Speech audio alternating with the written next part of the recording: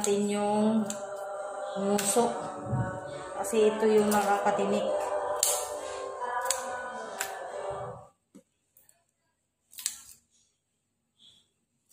Putulin natin siya para matanggal yung tinik. At magsisigang tayo nito. Itong itong hipon.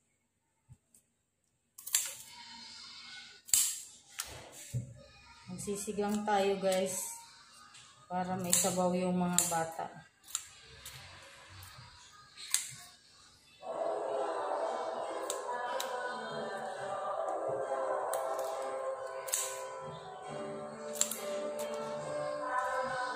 Kita nyo ba guys?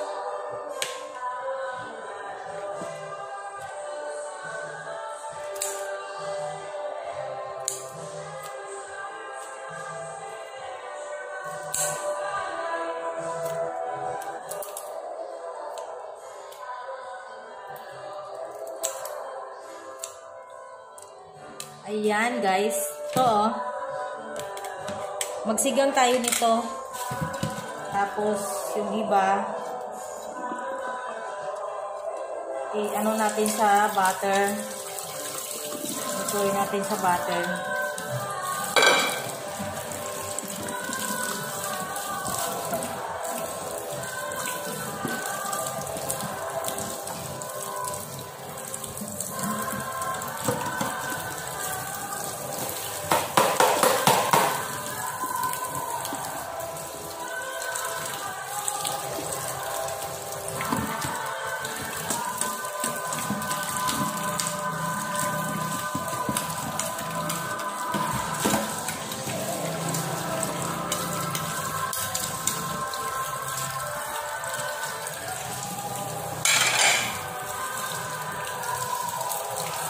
Ayan guys.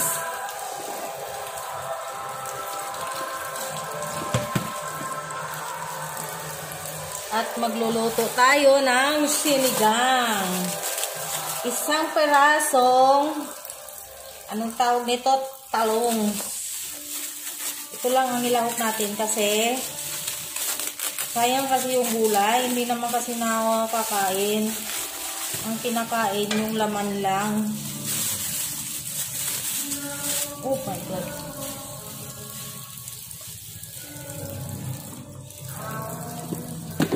Kamatis.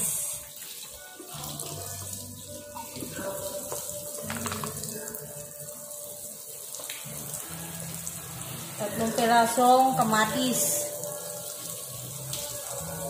Tapos kangkong at saka anong tawag nito? Sitaw. sitaw at saka siling green. Yun lang ang ilawak natin sa ating sinigang. Wala nang labanos.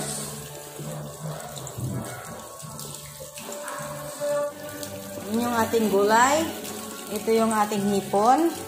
At ating sisigangin. Okay? Kangkong.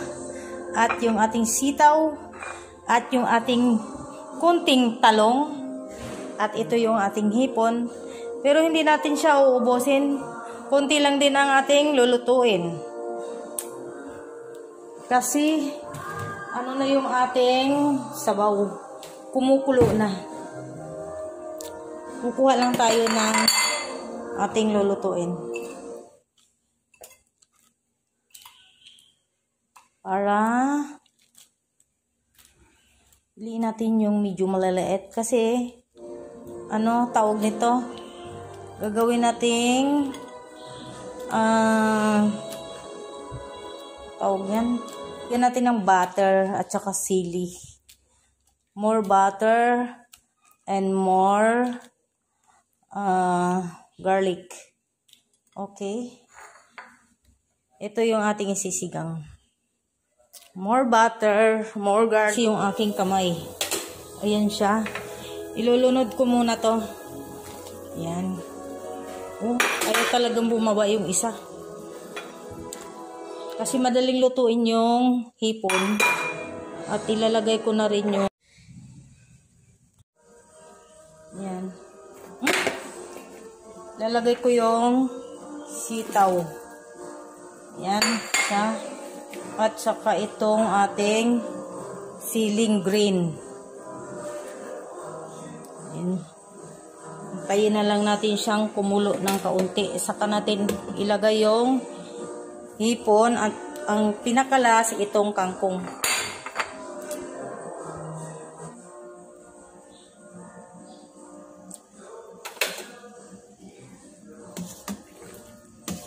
So, wow. Madami na padami yata ang sabaw. Dapat kaunti lang.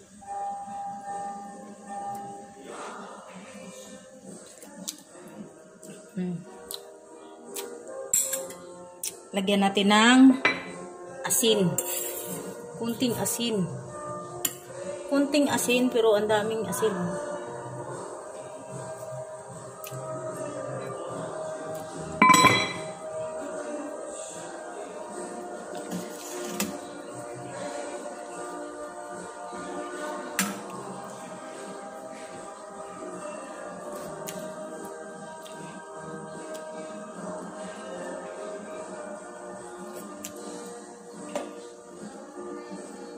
Pakuluin muna natin guys.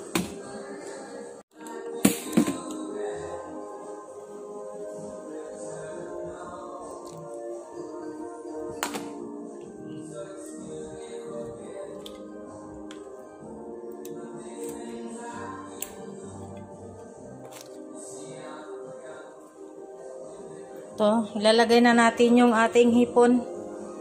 Tapos pinakahuli natin yung ating uh, anong tawag niyan? Kangkong. Pasensya na kayo guys. Lagyan ko siya ng mais. Kasi may mais akong tira. Yan. Sinama ko siya dyan sa aking sinigang. Wow. Masarap na guys. Ayan guys. At nilagyan ko siya ng shrimp guys. Cubes. Isang perasong cubes. At takpan natin siya para siya kumulo. Yan guys, luto na. Naku, nasobrahan na yata. Ginagawa kasi ako.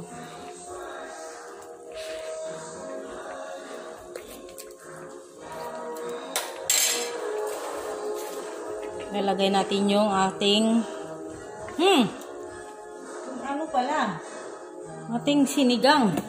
Naku, nalimutan.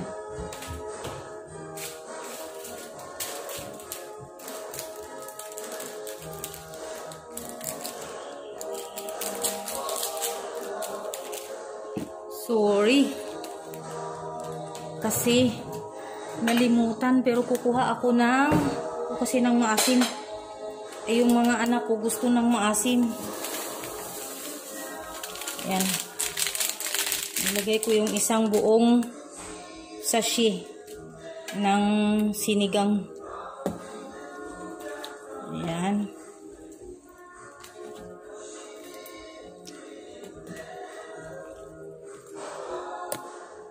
Tikman natin kung maasim na.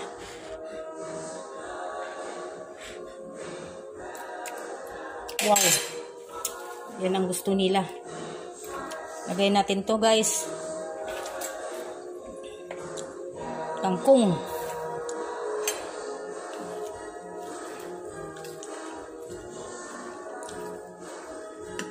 Oh, may isang peraso na tangkay na iwan. Naiwan yung isang perasong tangkay. Yan guys, luto na to ang ating sinigang na hipon.